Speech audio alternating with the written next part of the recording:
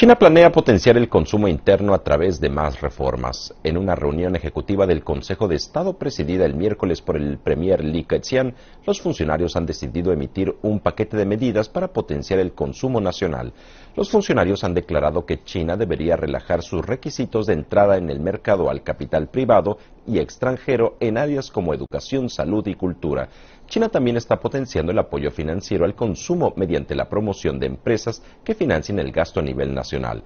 El gobierno también planea abrir más tiendas con extensión de impuestos y facilitar la importación de productos básicos para estimular el consumo nacional.